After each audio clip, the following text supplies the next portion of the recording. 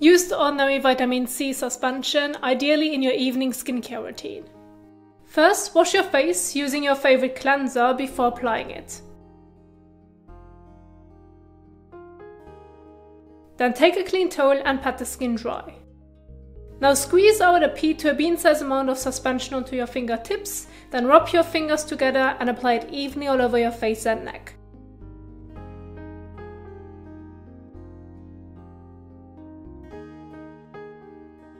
Avoiding the eyelids and lips. And make sure to leave it on the skin, there's no need to wash it off. And do not use it with the following products.